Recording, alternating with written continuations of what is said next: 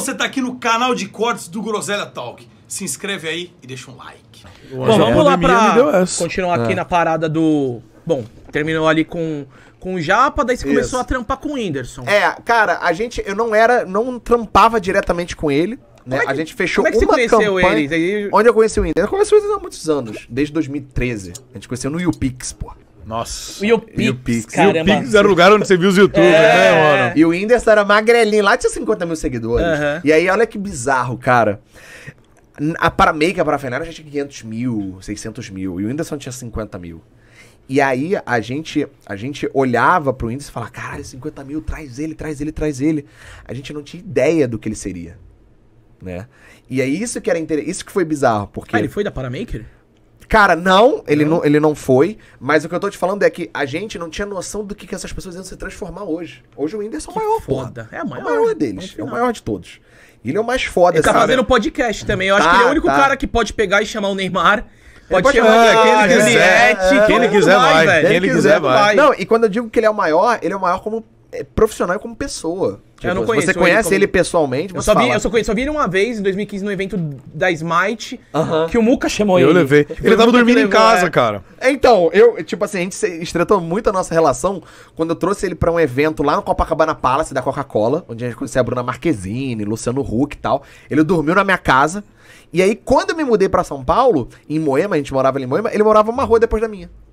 E a gente criou muito relacionamento ali, Aham. muita amizade ali. E a gente trabalhou, assim, muito pouquinho, assim, porque a gente sempre foi muito mais amigo do que Do que profissional. profissional, tá. É. E aí, cara, a gente fechou um ou outro job, assim, e tal, até Ah, porque então ele tinha os pode dizer que empresários vocês eram amigos, não eram... não- É, e aí ele, assim, nunca me esqueça, em duas da manhã, ele tava na Índia. Aí, te prepara. Aí eu, caralho, fudeu.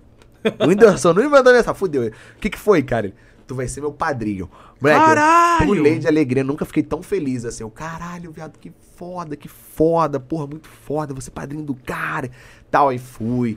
Fui lá pra São Miguel dos Milagres, botei o ternão, comprei um terno maneiro e tal. Cara, foi muito foda, assim. Você foi na festa de 10 milhões dele, que foi em São Paulo ou não? Não, não fui, não fui, não fui. É. Essa, essa festa foi o último contato que eu tive com ele e eu não lembrava se tinha ido ou não. eu Não foi, uma- não. Eu sei dessa festa. É, eu sei foi uma dessa festa eu muito fui. pica, cara. Eu Foi fui, eu muita fui. gente, muita gente. Conselho saiu maluco da Eu festa. lembro dessa festa aí, eu lembro. Tinha uma galera que falou saiu festa. É. maluco da festa. Eu saí louco. Mano, falou. Igão, foi uma loucura, porra. Polado. E eu fiquei felizão também, que ele tinha me chamado nessa. Depois ele casou. É, aí casou, aí eu vi. daí o Richard foi lá, dele, porra, vai ser do. ca- O que, que é isso, Gordox? Ah, tá. É isso, tá comendo aí? Aí, você lembrou que era que a cabrita mijou em você, que eu falei do Richard? Não, eu tava comendo aqui, pode continuar, Ah, por me favor. perdoe, me perdoe. E aí que, não, que, a- que a- o Richard veio aqui domingo. Eu vi, eu trouxe uma- vi, eu vi, eu vi, eu vi, Trouxe eu uma cabra. A cabra cagou e mijou no Gordox. Acontece, acontece. Sério? Sério, ficou no colo dele. acontece. Saiu tudo mijado, fedendo. e os cocô tudo aqui foi uma loucura. Tadinha da E. cabrita. Tadinha da cabrita. Tadinha da cabrita que ficou. Não, ficou num puff. Foi legal pra ela. Ficou num, co- numa poltroninha.